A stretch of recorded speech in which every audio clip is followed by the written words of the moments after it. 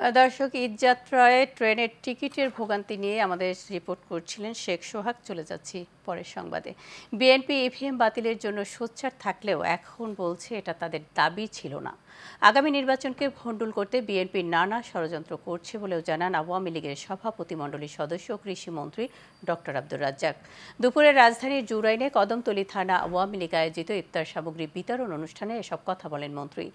তিনি আরও বলেন, এই রাষ্ট্রকে পাকিস্তানের রাষ্ট্র বানাতে নানা ষড়যন্ত্র চলছে। দেশের কিছু পত্রিকা ও মিডিয়া রাজাকারদের সম্মিলিত কণ্ঠে কথা বলছে ও দেশকে পিছিয়ে নিতে নানা চক্রান্ত করছে। তাদের অপশক্তিকে রুখে দিতে আওয়ামী লীগ নেতা কর্মীদের সজাগ থাকার আহ্বান জানান কৃষিমন্ত্রী।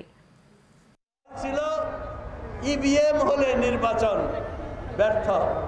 ভালো হবে না, স্বচ্ছ হবে না, নিরপেক্ষ হবে না।